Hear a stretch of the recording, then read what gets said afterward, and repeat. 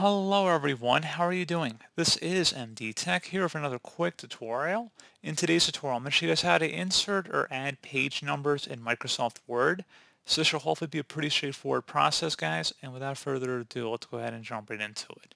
So all you have to do is select the Insert tab up at the top, and then on the right side, right above header and footer, so I guess more so in the middle of this page here, you want to select page number, click on the little drop down, and now, depending on where you want to put the page number is going to dictate how you move forward here.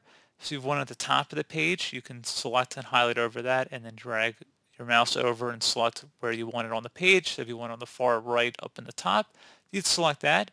If you want the bottom of the page, you would select this option and then you would select one of the three positions. And there you go guys, pretty straightforward process.